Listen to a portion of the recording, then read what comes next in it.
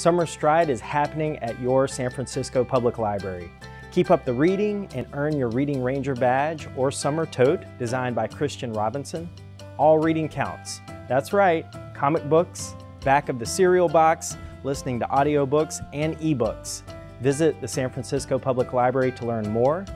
Keep reading, keep learning, keep creating.